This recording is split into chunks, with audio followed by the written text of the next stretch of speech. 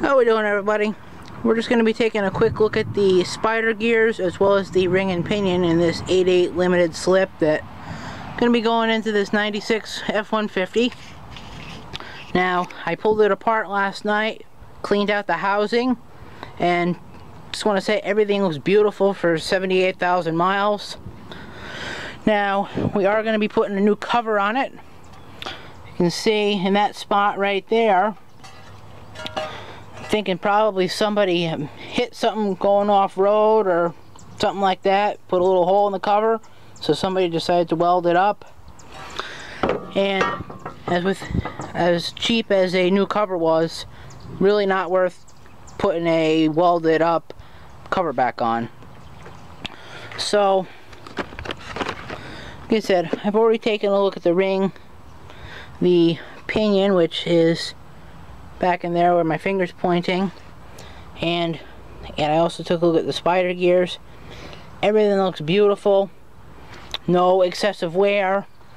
I did clean everything out with some brake clean and there's no metal or anything like that. So, like I said, all we're going to do is toss a new gasket and cover on it and we'll be good to go. And I will tag it with no oil so that when I put it in, I will remember to fill it with oil so I don't lose the differential. Now, don't open up a differential with it sitting like this on the back of your truck like I did. You will get gear oil all over the back of your tailgate. So, I will get this thing buttoned up here real quick. It is thundering out, so it's about to rain here. So, I want to get this closed up before the rain hits here. So, I'll bring you guys back once we got it all closed up. Alrighty, we got it all back together now. Got a new cover on there, along with a new gasket.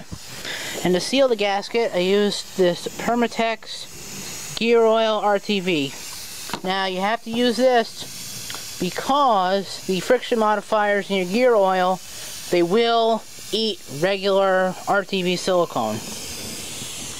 So, I'm going to let this cure overnight. I'm going to come tomorrow after work and just peel off the excess bead around the outside and just hit this with some more flat black Rust-Oleum and call it good. So, thanks for watching guys. Sorry this one's so short. Again, it's about to storm here, so see you guys in the next one. Bye.